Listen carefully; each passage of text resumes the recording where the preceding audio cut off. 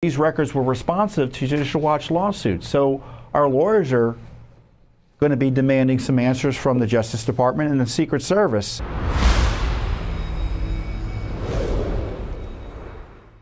We had some more craziness this week on Joe Biden's dog. Now, I disclosed last week how um, Joe Biden's dog was, um, or dogs, had bitten upwards of three dozen people, including while Joe Biden was supposedly in control of the dog, a poor Secret Service agent was bitten twice in his arm like this one, two on his arm. Another guy was bitten on his back. So, three dozen attacks by these dogs. And Judicial Watch alone got the records disclosing all of this and the cover up related to it. And it was a cover up. But the Daily Mail, uh, the UK publication, also asked for the records, and I ha- and, the, and other media covered our work here. I mean, Fox did a little story. Let's go to the Fox story about summarizes some of the work here from Instagram.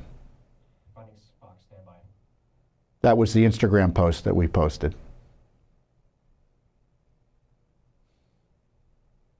We have new details on Biden's bad dog. The president watched as commander attacked Secret Service agents. Evening, Jesse. Judicial Watch giving us an exclusive window into the harrowing circumstances surrounding, you said it, Commander, the president's dog, and his numerous attacks on Secret Service agents, which could, by the way, uh, top three dozen such attacks, according to newly released records. What's more, apparently the president himself was present for at least three of those attacks. Now, everybody knows Commander has been known to, you know, bite. But there are a lot of examples you may not know about, including this one. Quote, as I started to walk toward him, him being the president, to see if he needed help, Commander ran through his legs and bit my left arm through the front of my jacket. I pulled my arm away and yelled, no. POTUS yelled, and then blank. Now, the story went on, Jesse, to say that the dog later jumped up and bit him in the left arm again for a second time. His suit coat had not one, not two, but three holes, one all the way through. And that's not it.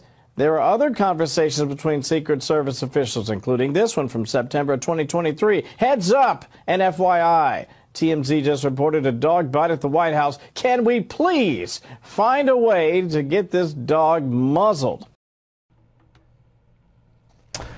And it gets worse. The uh, Daily Mail asked for records because there were evidently some videos of some of this dog, um, so at least one video of the dog attack.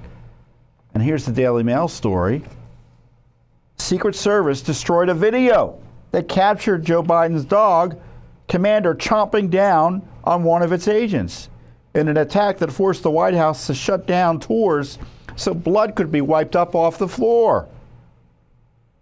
The video purportedly shows Commander running at a high rate of speed and jumping toward the agent in the East Wing's Kennedy Garden, leaving a deep bite, bite on the individual's left arm that reportedly needing stitches.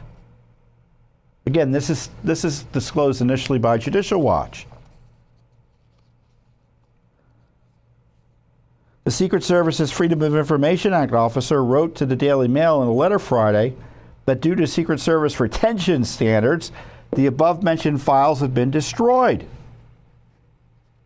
meaning the video. So they destroyed evidence.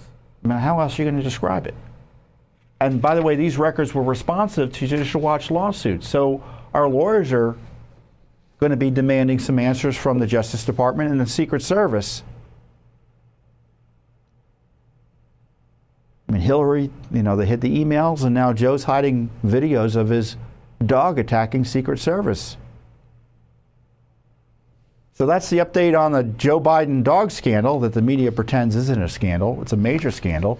President of the United States and his wife allowed their family dogs to attack federal law enforcement, Secret Service, and White House staff with impunity.